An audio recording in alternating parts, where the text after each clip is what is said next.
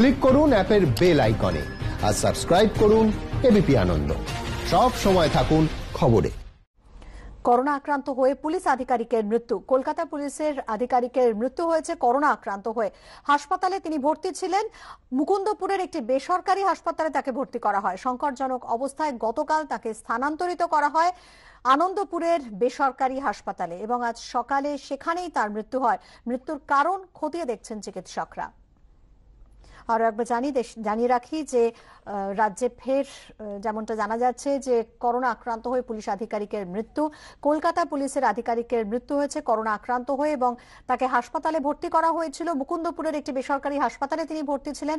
সংকটজনক অবস্থায় গতকাল তাকে স্থানান্তরিত করা হয়। স্থানান্তরিত করা হয় আনন্দপুরের বেসরকারি হাসপাতালে এবং সেখানেই আজ সকালে তার মৃত্যু হয়। মৃত্যুর কারণ খতিয়ে দেখছেন চিকিৎসকরা।